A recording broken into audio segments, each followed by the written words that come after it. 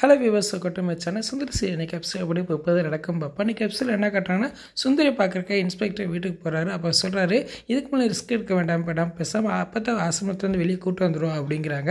அதுக்கு சுந்தரி சொல்கிறாங்க இல்லை இல்லை அப்படிலாம் பாதிலே விடக்கூடாது. ராஜப்பா உள்ளே வச்சே ஆகணும். எப்படி அப்பத்தா காப்பாற்றணும் எனக்கு தெரியும். நீங்கள் கவலைப்படாதீங்க அப்படின்னு சொல்கிறாங்க அதுக்கப்புறம் பார்த்தா கிருஷ்ணா வந்து மாலிட்ட சொல்லிக்கிட்டு இருக்கேன். இன்றைக்கி நான் கார்த்திகை பார்த்தேன் அப்படிங்கிறேன். இதை கேட்டோன்னு மாலினி எம்பி அதிர்ச்சிக்கிறாங்க ஒன்று தானே நான் கார்த்திகை பார்த்தேன்னா அம்மா கூட பிறந்தவங்க கூட பார்க்க மாட்டேன். பெரிய பாறங்களை வச்சு மண்டே பிறந்துருவேன் அப்படின்னு சொல்கிறாங்க இவங்க பேசுகிற எல்லாத்தையுமே கார்த்திகோட அம்மா கேட்டாங்க. உடனே அதிர்ச்சியாகிறாங்க இவன் சுந்தரிக்கு மேலே கோப்புறாள் எப்படித்தான் என் மகனை நான் காப்பாற்ற போகிறேன்னு தெரியலையே அப்படின்னு மனசுக்குள்ளேயே நினச்சிக்கிட்டு இருக்காங்க.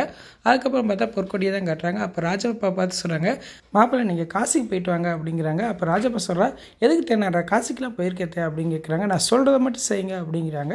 இன்றைக்கி அப்புறமா இப்படி தான் வந்திருக்கு. ஃபுல் வீடியோ பார்த்துட்டு பேசுவோம். இந்த வீடியோ பிடிச்சா வீடியோக்கு லைக் கொடுத்துட்டு மறக்காமல் சப்ஸ்கிரைப் பண்ணுங்கள் தேங்க்யூ